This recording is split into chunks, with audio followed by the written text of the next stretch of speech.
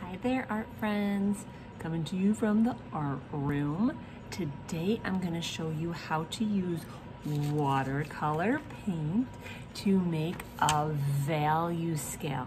So value means light to dark. So we're going to make three values, light, medium, and dark.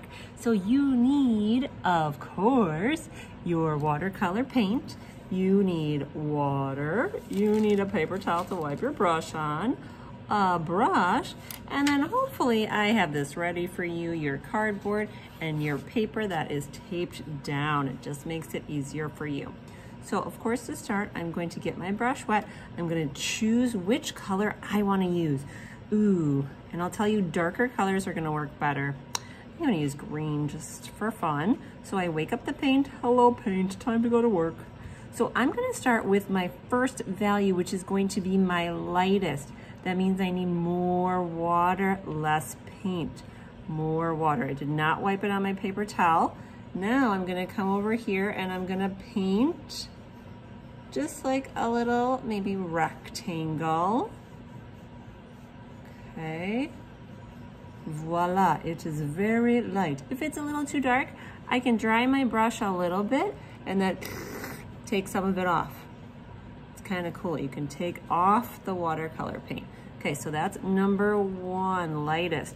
Now I need to try to do a medium. So I might want to dry my brush a little bit, so I'm going to get more paint and less water.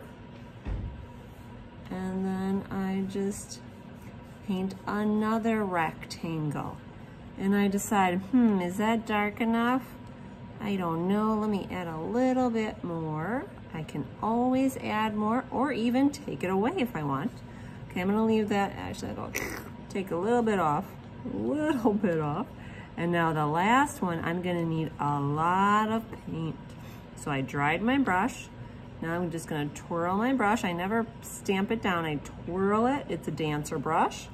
And then I'm going to, again, paint another rectangle. So from middle to darkest, I would say is a, the tricky part, but you can do it. So you might just have to dip in your paint to give a little bit more value. Okay, voila. Light, medium, dark. Add just a little bit more.